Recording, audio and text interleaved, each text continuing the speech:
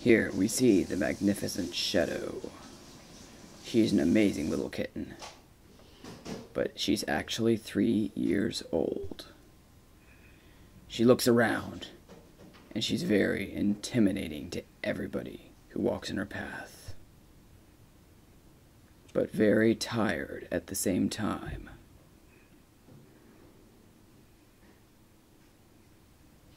Very tired. She also likes to. What does she do? Uh, she's still very tired. Oh, oh, what's she doing? She's rolling over. Alright. She also likes to roll over and sleep this way, which is very, very, very stupid.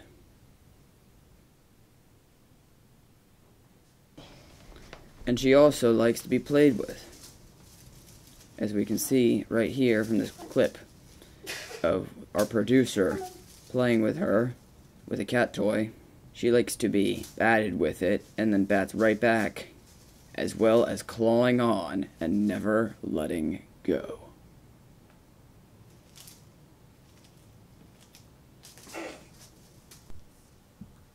She likes being on the top of a couch, looking at the camera.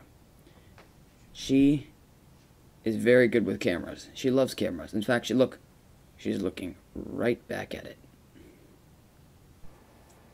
She also likes cleaning herself, but to no avail. She keeps cleaning the exact same spot for hours, and yet it never gets clean because she rolls around in the dirt right afterwards.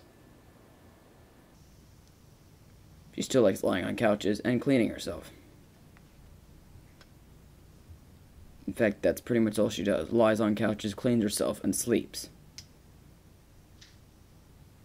She also likes cleaning herself. Again, except this is a close-up shot. Very close up.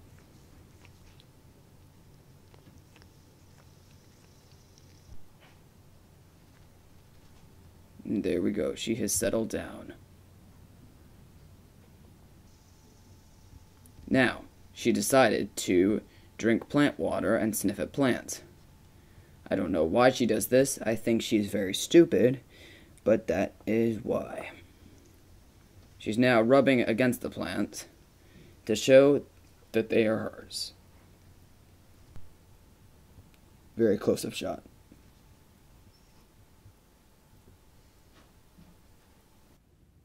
And there's her sleep pattern.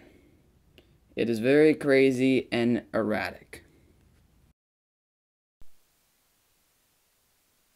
So, this was the documentary of Shadow.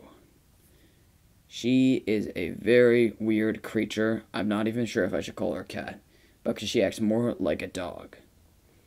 She follows you around, meows all the time, loves being petted, and never hates anybody.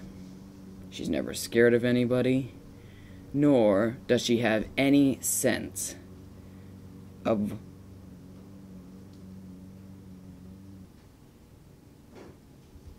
this is Shadow as I show you right here, she loves being petted.